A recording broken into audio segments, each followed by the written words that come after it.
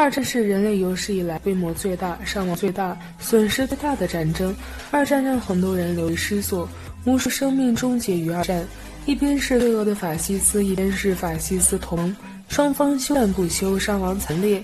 在二战期间，有一些转折点值得注意。正是因为有这些转折点的存在，二战的战争局面才产生了变化。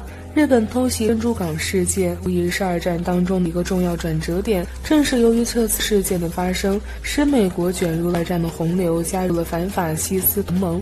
此后，太平洋战争爆发。太平洋战争爆发后，美国和日本进行了激烈的争斗，同时也涌现了许多战争英雄。美国的约翰巴斯隆就是其中一位。在一九四二年十月，约翰巴斯隆和布里一起防守龙家河，而这个时候，数千名日军出现在了龙家河附近，敌人相见分外眼红。美军和日军在此遭遇，势必要你死我活。双方在龙江河畔展开了惨烈的对决。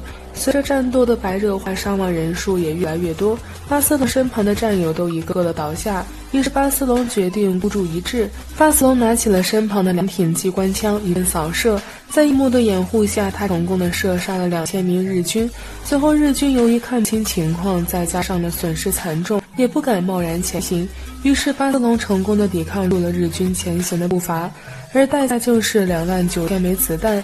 巴斯隆是太平洋战场上真正的英雄。作为一名美国士兵，他成功的阻拦了日军，不辱使命，值得世人尊敬。在整个二战战场上，其实有很多类似巴斯隆的士兵，他们有的被人铭记，有的则默默无闻，有的成功的活了下来，而有的却死于战场。